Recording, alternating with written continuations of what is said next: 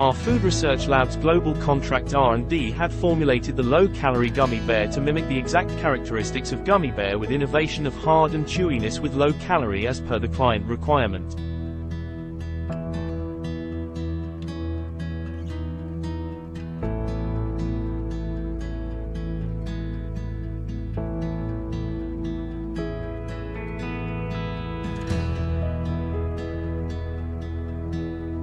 We have finalized the formulation and also completed the lab trials.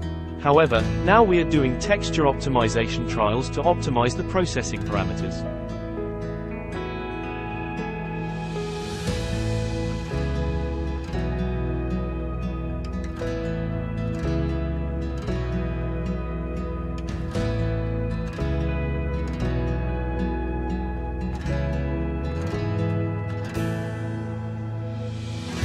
We have gone through various trials based on research data. So, the next step would be is to improve the texture on gummy bear.